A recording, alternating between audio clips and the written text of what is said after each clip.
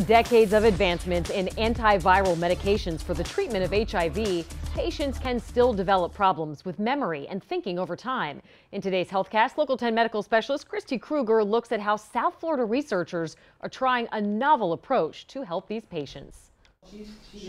When Tony Duncan decided to go back to college at 54, he had one concern how to retain information.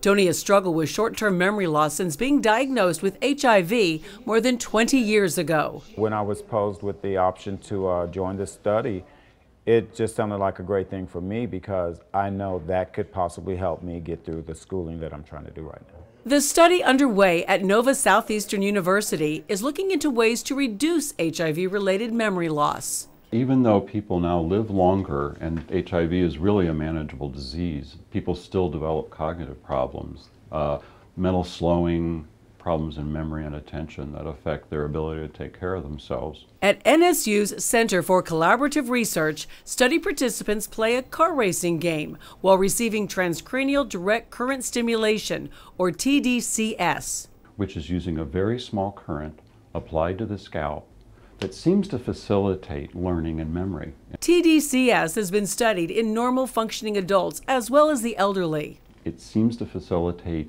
uh, what's called neuroplasticity. It's kind of like the nerve cells in the brain make connections a little bit better with this very small current. The single blind study means neither the patient nor the nurse practitioner doing the assessment know if a full dose of current was delivered, but Tony is optimistic.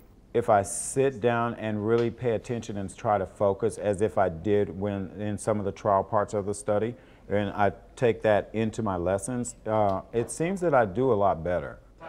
Now, results from this first small group of study participants shows that those who got the active treatment did have fewer memory problems and even said their overall mood was better. More people will be studied before drawing any final conclusions, but it certainly does look like doctors are on the right track with this one.